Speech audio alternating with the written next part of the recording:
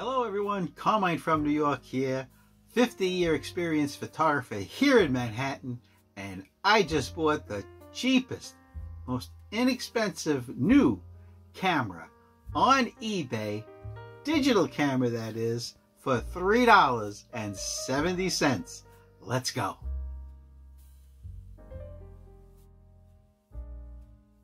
Okay everyone, here it is. This is the $3.70 new digital camera that I found on eBay. Flippy screen. Let me just close this. Okay. So, here's what's going on. I was on eBay and I was just searching. I put in camera in the search box and I clicked on uh, ending soonest. All right. And this came up. Here's what the picture looked like on eBay. It was just a picture of the box. This is a generic camera in a generic box. It just says digital camera. Okay, so here's the story. This camera, there was a picture of the camera, but not the main picture. The main picture was just this box. And in their title, the part, the seller, all they had was the word black digital camera. That's it. I'm like, whoa, that's interesting. Nobody's going to find that listing. And sure enough, nobody did. The starting bid was $3.70. I bid 370 and I got it. Now, you might say, well, what is it? What's the brand? Here's what I did. I did a little research. Believe it or not, it has a really nice screen. Okay?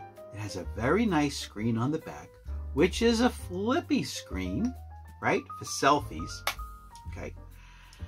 So I went through the menu once I got it, and I got down to info, and it came up with this little line. It said model CDR10. So, of course, I put that into Google and it came up on Amazon. Now, here's the deal Amazon sells these under many different names because it's generic. The only name on the front, right? It says 4K. There is no maker uh, brand on it like Fuji, like Nikon. It doesn't say anything like that. Okay. So on Amazon, these are sold under many different names. The one name I did highlight was, I'm going to spell it V E T E K. Right now, that's a spin off on a very, very popular, well known uh, electronic manufacturer, VTECH. Okay? First thing, I want to show you a photograph that I took last evening at sunset.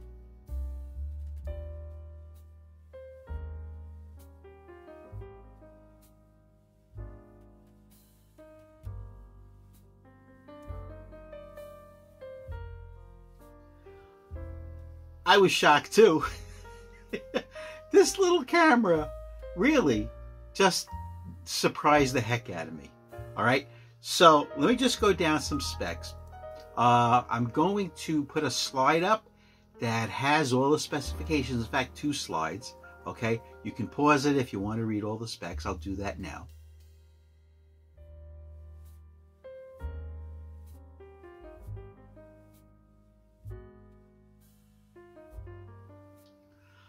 Right, I hope you read all the specs. I don't want to go through them all. I just want to highlight what I found. Okay, so when I opened the box, right, it came with the camera, of course. Uh, it has a viewfinder on top, but it's just a pass-through.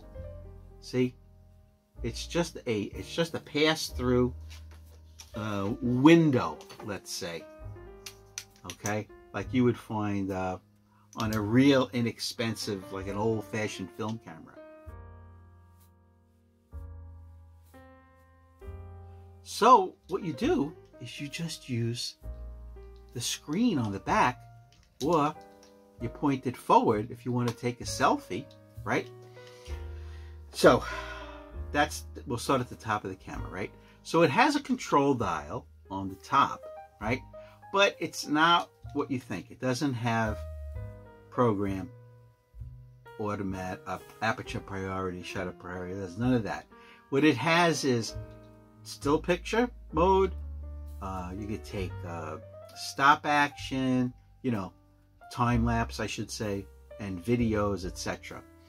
It has the shutter button here, and too close is the on-off button, right? It's just too too close and too similar feeling.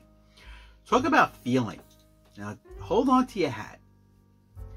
This is not a metal body construction. It's a plastic body construction. However, I don't know if you're going to be able to tell.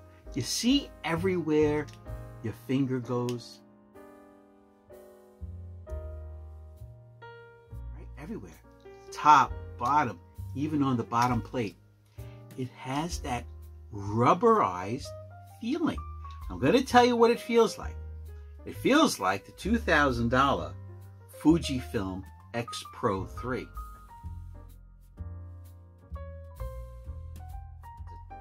$2,200 camera. But if you've ever picked up a nice Fujifilm camera, that rubberized feel, that's exactly what this feels like.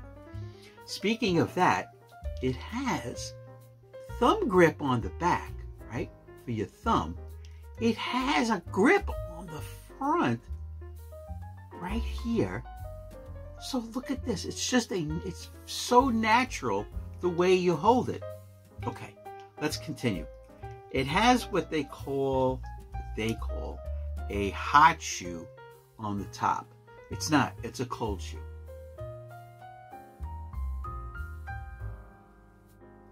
Okay, now you would say, why would they have a cold shoe on the top? They thought of everything. I'm telling you, this $3.70 purchase is just, I'm having so much fun. And that's what the meaning of this video is all about. Cheap, under $10 cameras that you can have fun with. On the side here, it has a little door, right?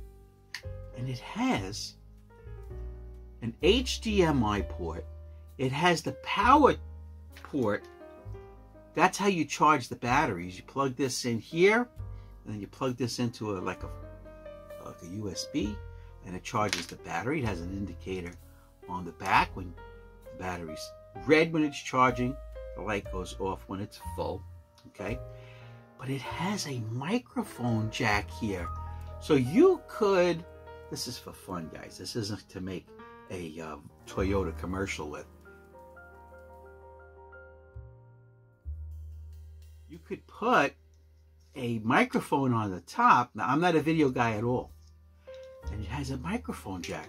Jeez, some $2,000 cameras don't have come with a microphone jack. Okay, uh, this is a speaker right there. That That's not a button, that's a speaker. Okay, uh, to play back your photo photographs, you just put it on playback. Now, I'm going to get you scared. Did you ever see this on a camera? It says no. First time I saw it, I'm like, okay, what's happening?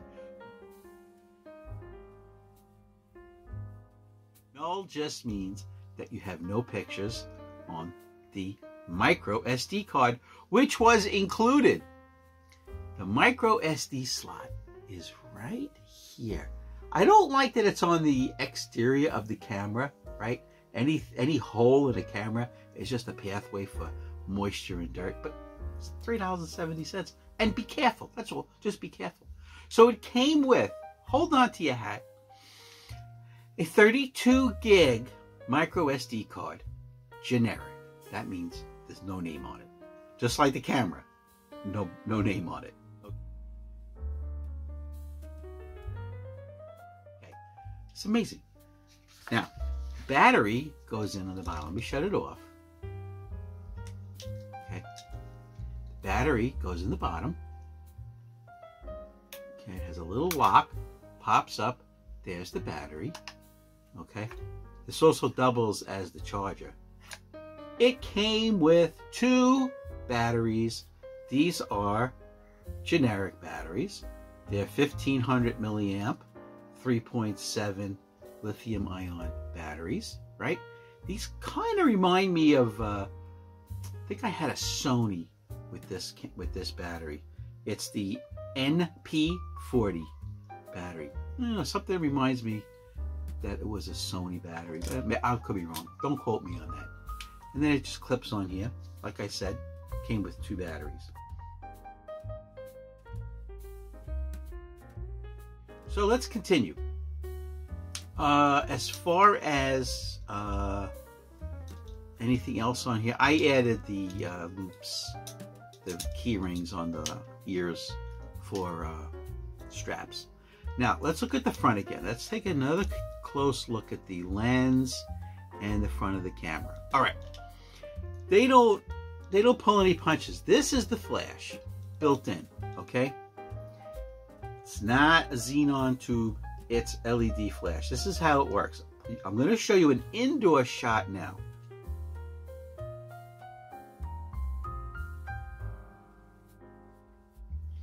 All right. By the way, that's Dax and Dexter. When you, whenever I make a video, you usually hear them barking.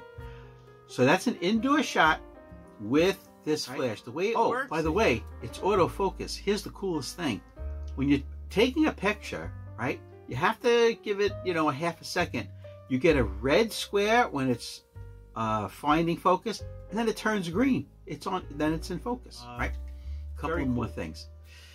It has on the back here it has W and T for uh, to go wide and telephoto. It has a built-in, hold on, digital zoom. Don't use it. Because it's all pixelated.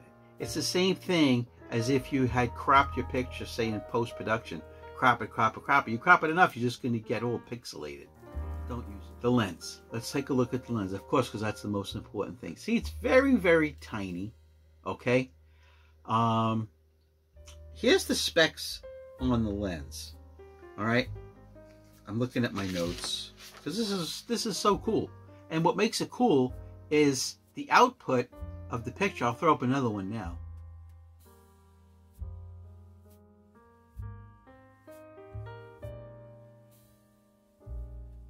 Pretty cool, right? That was taken last night by me with this $3.70 camera. All right, the specs from the manufacturer are it's a 7.36 millimeter lens. Now, they don't tell you the size of the CMOS sensor, but looking at the finished photographs, right, when I was editing them, uh, you can see uh, this is about a 40 millimeter to 50 millimeter uh, lens if it was 35 full frame, right? Um, they do give you, also in the box for free, this wide angle lens.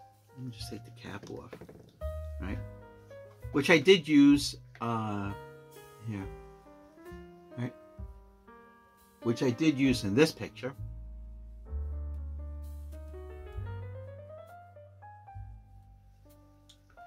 And it also has another attachment on the bottom for macro, right?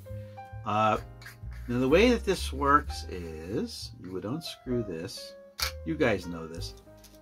This has a 52 millimeter thread. It actually takes filters and lens hoods. We're going to get to that in a minute. So you would screw this on, right? You screw this on. So now it looks like this and it makes it wide angle. Okay. Uh, problems I ran into using this were vignetting. You will get the corners cut off, and uh, lens flare. You'll get a lens flare. Okay, from the sun if you have it angled in such a way that the sun is somewhere in the direction of the frame. Okay. Uh, the way you would use macro, right? is these separate, right? These separate. You would take off the one part and the second part, which says macro, you would leave on. Now it's a macro lens. I didn't have uh, time to try out the macro part. You know, I'm sure it's okay, right? And then that unscrews, That unscrews from the camera, right? This was all included for $3.70. By the way, I went on eBay just now and uh, they're still out there. They're still out there. Uh, I don't know, just put in search black digital camera under under all categories and you might be lucky. All right. So this just reattaches to there. All right. Now we have to continue to talk about this lens and this lens mount.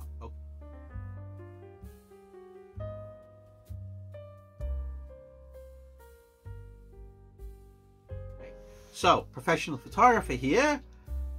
What did I do? As soon as I got it the other day, I got a 52 millimeter Hoya UV filter. I put it right on top.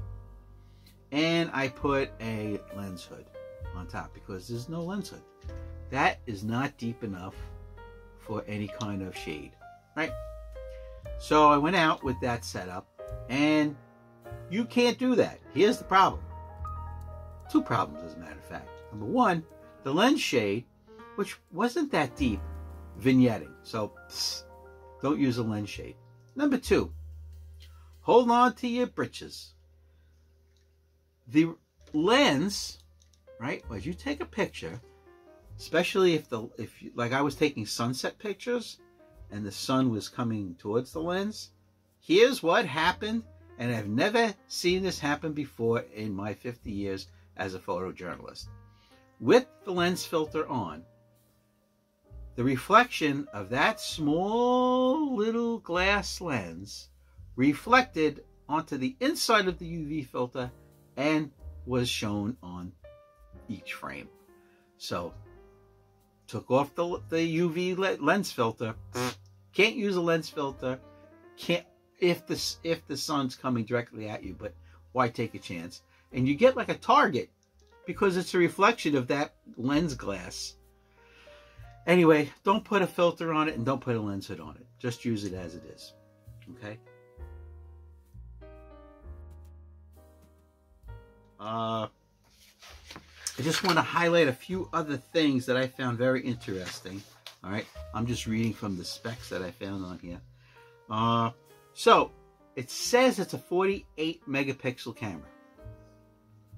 48 megapixels. Is it true? I don't know. I can only read what it says. CMOS. Uh, it has so many things that's incredible. It supports Wi-Fi, right? You can send your pictures to your phone through Wi-Fi, and you could also use it as a remote. You, you could use your phone as your remote to fire the camera. It's pretty crazy. Uh, okay, let's keep going. Uh, the storage, like I told you, uh, it came with a 32 gig micro SD card, but it says it accepts all the way up to 128 gig micro SD card. I'm sure they're right. Uh, now, there's no RAW, there's no TIFF. It shoots JPEGs. Now, when I uh, I also clicked on I want the highest resolution uh, the, on the menu on the back. You know, when you set up your camera. Uh, so each file, when I got home and put it in the computer, they were they the average was a 5.5 megapixel shot. Okay, each frame was about 5.5 megapixels.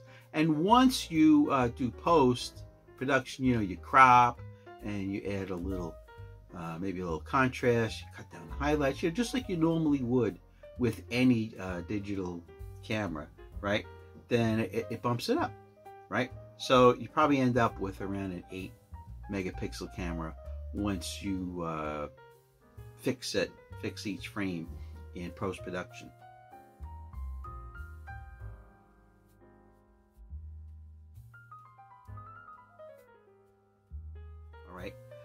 Uh, it says it's a 16 times digital zoom. Never tried it because I know 50 years experience digital zooms stink. Just like in your cell phone, if it's a digital, 99% of cell phones have a digital zoom. They stink. All right. Uh, white balance, you have automatic, sunny, cloudy, tungsten, fluorescent, blah, blah, blah. I just keep it on automatic. Uh, it has uh, exposure control, right? you can go to uh, exposure value from negative 1 to plus, sorry, from negative 2 to plus 2 EV. Built-in flash, like I told you, built-in LED flash. ISO, this was the best part. I shot all the photographs you're looking at at ISO 100, the lowest, okay? Because you, you got to realize it's a, you know, it's a $3.70 camera. Uh, it's not going to have the best sensor, so you got to help it out a little bit and use the lowest ISO. You only have three ISO settings, uh, 100, 200, and 400. Okay. Uh, the aperture is a 3.2. It's a 3 f3.2 aperture. Oh, yes. Um, here's what I wanted to tell you. Have fun with cheap cameras. Have fun with cheap cameras, whether it's a cheap film camera or a cheap digital camera. Just go have fun. You'll figure out what the best thing this is for, right? It fits in a pocket. If okay. Pocket. So, uh, like I said, did I mention it was a 52 millimeter uh, thread, which it doesn't come with a lens cap, but you guys, I know you have tons of 52 millimeter lens caps. You got to put a lens cap. All right. Call from New York here. Subscribe, thumbs up, comment below, and email me. Black and white photo at AOL.com. Goodbye.